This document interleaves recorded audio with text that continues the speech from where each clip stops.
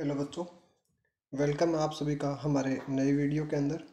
आज हम seventh science का चैप्टर नंबर एट करेंगे that is winds storms and cyclone so exercise solution हमारा रहेगा एनसीईआरटी बुक के अकॉर्डिंग सो स्टार्ट करते हैं question number first that is fill in the blank first of all fill in the blank first fill in the blank रहेगा हमारा. Wind is dash air कि wind है जो हमारी, वो कौन से टाइप की एयर बोली जाएगी इसको? जैसे ब्रिज की अगर बात होती है तो कूल एयर होती है, ठीक है? ऐसे विंड की अगर बात करें तो क्या हो जाएगा हमारा? मूविंग या फिर ब्लोइंग एयर क्या हो जाएगा? Moving air okay second one winds are generated due to dash heating on the earth कि जो विंड्स है, वो जनरेट कैसे होती है? कि अर्थ के ऊपर ऐसा क्या होता है, जिसके कारण वो जनरेट होती है that is uneven heating of the earth यानी जो हमारी अर्थ है वो अन ईवन का मतलब किसी जगह से गर्म हो रही है, किसी जगह पे ठंडा है, ठीक है? तो अन ईवन हीटिंग है।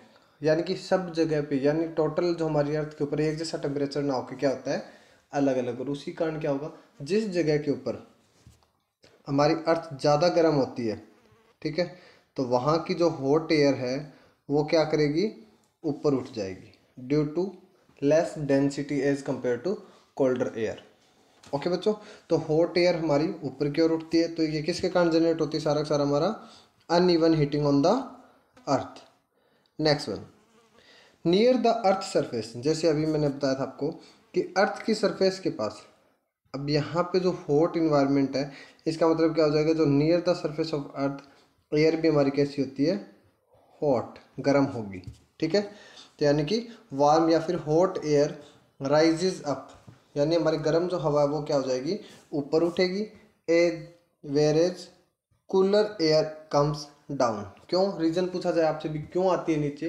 तो रीजन क्या हो जाएगा? डेंसिटी ठीक है? Density of the cooler air is more as compare to warm air next one air move from अब चलो एयर की बात होगी कि हाँ वार्म होती है या फिर कूल होती है। तो ये मूवमेंट कहाँ से कहाँ करती है? कौन से रीजन से चलेगी? हमेशा ध्यान रखना हाइयर से हमेशा लोअर की ओर मूवमेंट करती है कौन से?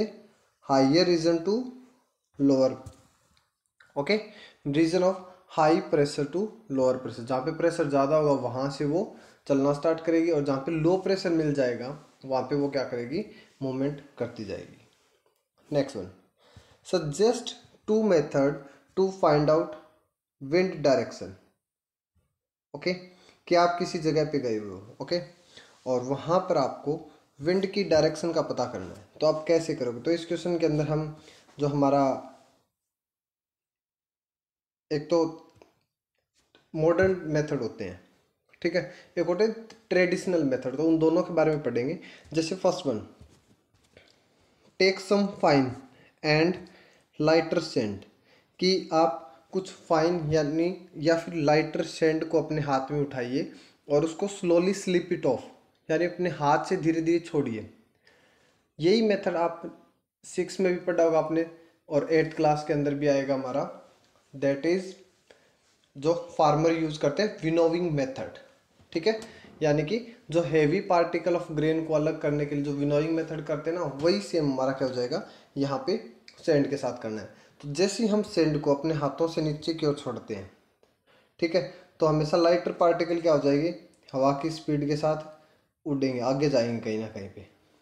और जिस डायरेक्शन में हवा हमारी चल रही होगी, वो सेंड के पार्टिकल उसी डायरेक्शन के अंदर क्या करते हैं हमेशा? फ्लो करते हैं और हमें पता चल जाएगा कि विंड की डायरेक्शन क्या है okay the movement of dust particle in a particle direction will give the direction of wind flowing अब जिस भी डायरेक्शन के अंदर हमारे पार्टिकल मूवमेंट करे, ठीक है, वही डायरेक्शन क्या होगी? एयर की उस टाइम पे रहेगी। सेकंड वन ये भी एज ए ट्रेडिशनली बोल सकते हैं फ्लाई ए काइट अब हम पतंग उड़ाएँगे, ठीक है? तो in the direction of kite fly sell the wind direction जिस भी डायरेक्शन के अंदर हमारा काइट फ्लाई करेगा, वही डायरेक्शन क्या होगी? हमारी एयर की डायरेक्शन होगी। Okay next take a bit of paper on your palm आप अपने हथेली के छोटे छोटे टुकड़े ले सकते हैं पेपर पीसीस के, ठीक है? और उनको फ्लाई करने की कोशिश करें, उनको उड़ाएँ। और वो जिस भी डायरेक्शन के अंदर उड़े, वही हमारी क्या होगी? एयर की डायरेक्शन रहेगी। ओके स्टूडेंट इसके अलावा एनिमोमीटर और विंड वैन ये हमारी मॉडर्न टेक्निक्स है, ठीक है? एनिमोमीटर का भी यूज़ कर सकते हैं। जैसे आपकी बुक के अंदर तो डायग्राम दिया हुआ इसका, ठीक है? एरो की डायरेक्शन में होते हैं ये। ओके अब इस एरो की डायरेक्शन को कंट्रोल करने के लिए इसके ऊपर एक फ्लैग का सिस्टम भी बना होता है। क्या करेगा वो? कि जैसी एयर जाएगी, ये मूवमेंट करेगा। जिस भी डायरेक्शन में एरो आपको शो करेगी, वही डायरेक्शन आपकी क्या होती है? एयर की होती है। इसके अलावा, एक कागज़ का बना हुआ, और आगे से ये भी होलो रहेगा, ठीक है? यहाँ से ताकि एयर पास हो। ये भी जिस डायरेक्शन के अंदर घूमता है, यानी इसको भी आप यूज़ कर सकते हो as a wind direction okay इनके डायरेक्ट आपको डायग्राम भी एनिमोमीटर या विंड वेन बोलते हैं। ये आपकी बुक के अंदर डायग्राम दिया हुआ भी है। Next one state two experience that made you think that air exert pressure कि कोई भी आप अपने, और स्टूडेंट ध्यान रखें, इस क्वेश्चन के अंदर कोई कंपलसरी नहीं कि यहाँ पे जो आपको आंसर दिया गया, वही आप सेम या एज इट इज़ कॉपी करें, ठीक है? आप अपने लेवल पे भी कोई भी दो एक्सपीरियंस या फिर थ्री जितने भी पूछे जाए उतने एक्सपीरियंस आप लिख सकते हो शेयर कर सकते हो। तो अकॉर्डिंग टू बुक बुक के अकॉर्डिंग क्या देखा है? ट्री लीव्स एंड ब्रांचेस हमें ये बताना है कि एयर प्रेशर एग्जर्ट करती है या नहीं। आप बैलून के अंदर हवा डालते हो। बैलून का साइज़ चेंज हो गया। यस एयर एग्जर्ट प्रेशर ये भी है, जो कि यहाँ पे नहीं दिया हुआ आप उसका यूटिलाइज कर सकते हो। ठीक है? Tree leave and branches flutter tree leave and branches flutter due to pressure exerted by the air flutter का मतलब यहाँ पे है हिलना, ठीक है? कि ब्रांचेज या फिर जो लीफ होते हैं, वो फ्लटर करते हैं, आपको दिखाई देते हैं। वो भी किसकी प्रेजेंस को शो करते हैं? एयर प्रेशर को। Next one it is difficult to ride a bicycle against the wind but much easier in the direction of a wind, कि जिस भी डायरेक्शन के अंदर हवा चल रही है, उसी डायरेक्शन के अंदर साइकिल को चलाना इजी होता है। क्यों? क्योंकि विंड आपकी हेल्प करती है प्रेशर क्रिएट करके। और अपोजिट टू डायरेक्शन अगर हम बात करें, यानी कि जिस डायरेक्शन के अंदर हवा चल रही है, आप उसके अपोजिट डायरेक्शन के अंदर अगर साइकिल चलाते हैं तो वो क्या हो जाएगा? मुश्किल होगा। क्यों? इसका भी सेम रीज़न कि एयर क्या करेगी यहाँ पे? Exert प्रेशर ओके बच्चों, next one. You want to buy a house आप एक घर खरीदना चाहते हैं would you like to buy a house having windows भी आप एक घर तो खरीदना चाहते हैं, ठीक है? कंडीशन दे रखी यहाँ पे कि उसमें विंडोज़ तो है बट कोई वेंटिलेटर नहीं है। वेंटिलेटर का मतलब क्या हो जाएगा यहाँ पे? अपर जो विंडो होती है, उसको बोलते हैं वेंटिलेटर या फिर वेंटिलेटर वाला एग्जॉस्ट फ़ैन जो यूज़ करते हैं ठीक है? बट उसके अंदर कोई वेंटिलेटर नहीं है। अब मान लो फॉर एग्जांपल मैं एक एग्जांपल देता हूँ। मान लो ये कोई रूम है ओके और वेंटिलेटर इसमें क्या, जो अपर मोस्ट पोर्सन पे लगा होता है। दैट इज़ वेंटिलेटर ठीक है, आप एक रूम खरीदना चाहते हैं, घर खरीदना चाहते हैं बट उसमें वेंटिलेटर का कोई सिस्टम नहीं है। विंडो तो काफ़ी सारी है। तो आपका सजेशन क्या रहेगा यहाँ पे?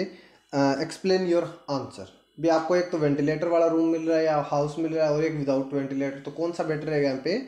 कि जो वेंटिलेटर वाला वो हाउस आप खरीदना की कोशिश करोगे या खरीदना आपको चाहिए। और जिसमें वेंटिलेशन नहीं होती है, उसको नहीं खरीदना होगा। उसका रीज़न बताना है आपको इस क्वेश्चन के अंदर।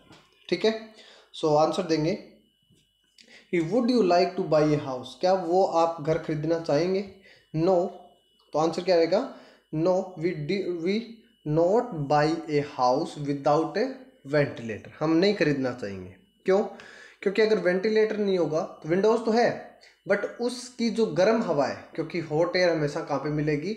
Upper most layer of the house या upper most layer of the room यानी कि सीलिंग छत के पास मिलेगी गर्म हवा। और अगर वो गर्म हवा उस रूम से बाहर निकल जाएगी तो इसका मतलब लो प्रेशर क्रिएट हो जाएगा तो ठंडी हवा वहाँ पे आ जाएगी। समझ गए? बट होगा क्या कि उस घर के अंदर कोई वेंटिलेटर तो है नहीं तो इसका मतलब जो गर्म हवा है, अब गर्म हवा कौन सी हो सकती है घर में? किचन की हो सकती है, ठीक है? या फिर आप कोई ऐसी गर्म मटेरियल का यूटिलाइज करो हीटर वगैरह के तो उसकी हवा as it is upper most रहेगी सीलिंग के पास। वो बाहर नहीं निकलेगी तो हमारा घर क्या रहेगा? गर्म रहेगा। ओके तो आंसर बुक के अकॉर्डिंग देखते हैं। Smoke from the kitchen and warm air अब किचन का जो स्मोक है वो, या फिर घर के अंदर कोई गर्म हवा है तो वो कहाँ पे उठेगी हमेशा? ऊपर की ओर। If there is no outlet अगर वहाँ पे कोई आउटलेट नहीं है, यानी कि वेंटिलेटर नहीं है it will be difficult to escape तो ये डिफ़िकल्ट होगा स्केप फॉर वार्म एयर गर्म हवा का स्केप होना, यानी कि बच के निकलना। Will heat up the room और वो क्या करेगी उसको, उस कमरे को गर्म रखेगी and food cause suffocation and discomfort आपको उसमें हुमस या फिर डिसकम्फर्ट आप उसमें कंफर्ट फील नहीं करोगे, क्योंकि रूम हमारा क्या हो जाएगा, ज़्यादा गर्म। ओके बच्चों? Next one explain why holes are made in hanging banner and hoarding अब बच्चों, आपने बाज़ार वगैरह के अंदर देखा होगा, ठीक है? जहाँ पे भी आप रहते हो, कि वहाँ पे जो भी होर्डिंग वगैरह लगे होते हैं, उनके अंदर या तो आपको कट लगाए हुए मिलेंगे, ठीक है? या तो क्या होंगे उसमें कट होंगे, या फिर उसके अंदर होल्स किए होते हैं। तो वो क्यों बनाए होते हैं? क्या रीज़न होता है उनका? अब जितने भी होर्डिंग वगैरह होते हैं ना, वो बिल्कुल बारीक कपड़े के बने होते हैं या फिर बारीक प्लास्टिक के बने होते हैं, ठीक है? अब जब हवाएँ चलेगी तो एयर तो एग्जर्ट प्रेशर पिछले क्वेश्चन में पढ़ा था एयर एग्जर्ट प्रेशर हवा प्रेशर क्रिएट करेगी और उस प्रेशर के कारण वो बारीक कपड़ा या फिर वो क्लॉथ या फिर बारीक जो प्लास्टिक की जो लेयर है थिन लेयर ऑफ़ प्लास्टिक ठीक है? वो क्या हो जाएगी हमारी? फट जाएगी। और अगर हम उनके अंदर होल्स कर देते हैं छोटे छोटे होल्स कर देते हैं ठीक है? तो वो क्या होगा? जो एयर है, उसका प्रेशर क्या हो जाएगा? रिलीज़ हो जाएगा। हवा इसके अंदर से ईजिली पास कर जाएगी। और हमारा होल्डिंग है, उसकी लाइफ क्या हो जाएगी? ज़्यादा। यानी वो फटेगा नहीं। और फटेगा नहीं तो वो लंबे टाइम तक चलता रहेगा। ठीक है? जैसे डायग्राम के अंदर मैंने आपको दिखाया ना कि ये जो होल्स है, ये क्या काम करें? जैसे हवाएँ आएगी, इसके अंदर से निकल जाएगी और प्रेशर क्या हो जाएगा? काफ़ी कम। So answer air exert pressure in all the direction कि हवा है ना, वो प्रेशर क्रिएट करती है all the direction if banner and hoardings if banner and hoardings do not have holes अगर होल्स नहीं होंगे तो क्या होगा इसमें? प्रेशर एग्जर्ट बाय विंड यानी कि हवा से जो भी प्रेशर क्रिएट होगा मे टीयर डैम ऑफ़ वो उनको फाड़ भी सकती है और मे बी फॉल नीचे भी गिर सकता है। Holes let the air pass through और होल्स यहाँ पे क्या करेंगे? हवा को पास करने में हेल्प करेंगे और एयर प्रेशर क्या हो जाएगा? रिड्यूस हो जाएगा और वही होल्डिंग और बैनर की जो लाइफ है वो बढ़ जाएगी। Next one how will you have help your neighbours in case cyclone approaches your village और टाउन अब ये क्वेश्चन भी काफ़ी इंपॉर्टेंट में रहता है। कि आप अपने नेबर्स की कैसे हेल्प करोगे अगर वहाँ पे आपके एरिया के अंदर कोई साइक्लोन आ जाता है, ठीक है? तो आप कैसे हेल्प करोगे? ये हमारा रहेगा क्वेश्चन तो इसमें आप अपने अप्रोचेज भी लिख सकते हैं पर्सनल लेवल की भी, ठीक है? बुक का कोई कंपलसरी नहीं है। और अकॉर्डिंग टू अगर बुक करते हैं तो देखिए help your neighbour and friend in shifting their important household good कि घर के जो ज़रूरी सामान है हाउस होल्ड गुड गुड का मतलब वहाँ पे सामान से ठीक है? हाउस होल्ड यानी कि घर के सामान।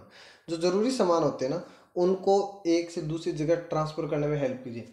और मेनली बच्चों, याद रखें कि आपको लिविंग बींग यानी कि जो केटल्स है, उनका सबसे ज़्यादा कंपलसरी लिखना है आपको। केटल्स ज़रूरी होते हैं।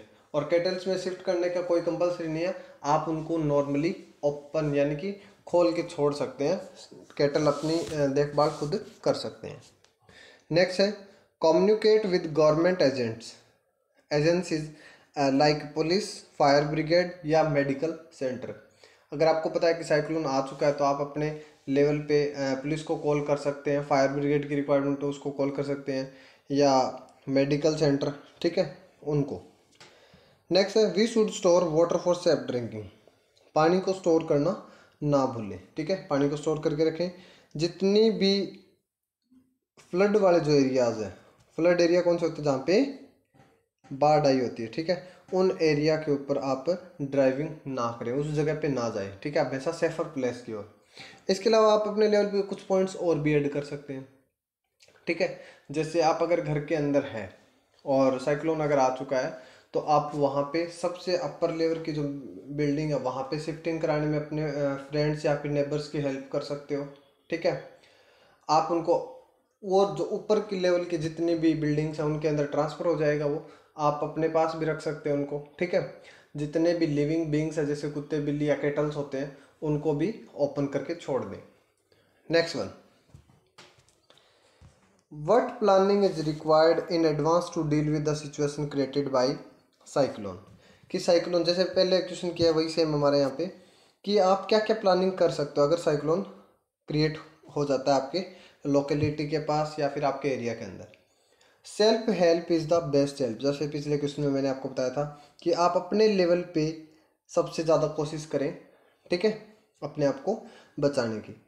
Therefore it is better to plan in advance आपको पहले प्लानिंग करनी पड़ेगी भी अगर ऐसी सिचुएशन आ जाती है और इसीलिए आपके लिए चैप्टर बनाया गया है, ठीक है?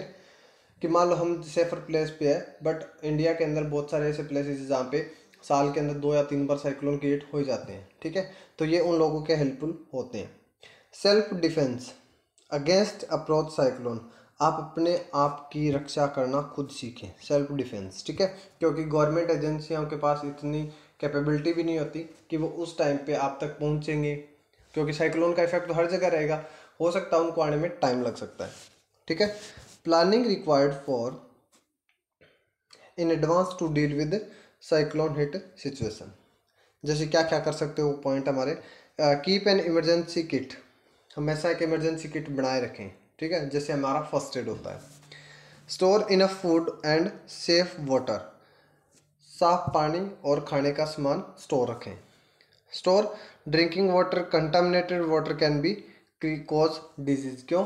क्योंकि कंटामिनेटेड यानी जो साइक्लोन से इन्फेक्टेड होती हैं चीज़ें, उसमें बैक्टीरिया वायरस हो सकते हैं तो वो आपको इन्फेक्ट कर सकते हैं। Keep phone number of emergency service जितनी भी गवर्नमेंट एजेंसीज हैं, उनके जो नंबर होते हैं हमारे, जैसे एटीन हंड्रेड ठीक है, जो स्टार्ट होते हैं, वो उनको आप नोट रखें। Make necessary arrangement to shift the essential household good domestic animal and vehicle कुछ अरेंजमेंट आप अपने लेवल पे बनाए कि ऐसा होने पे हम इस जगह पे अपने एनिमल्स को, अपना जो हाउस होल्ड आइटम्स है, उनको ट्रांसफ़र कर सके।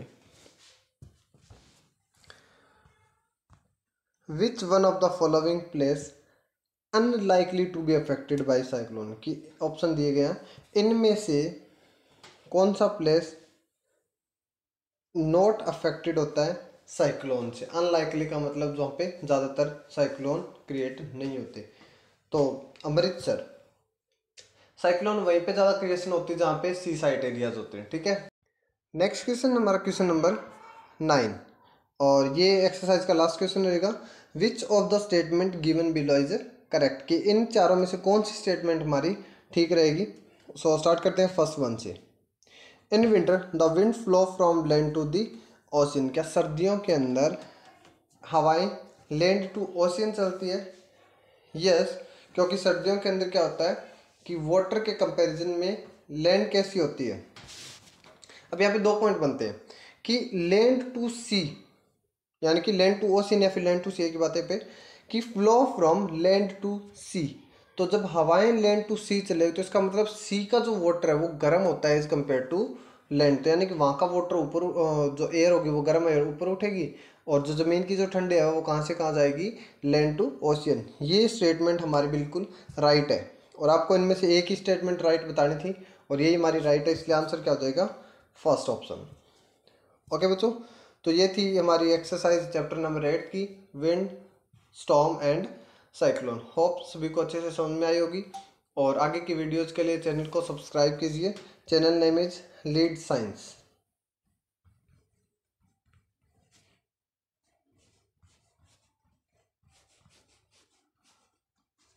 okay बच्चों bye bye have a nice day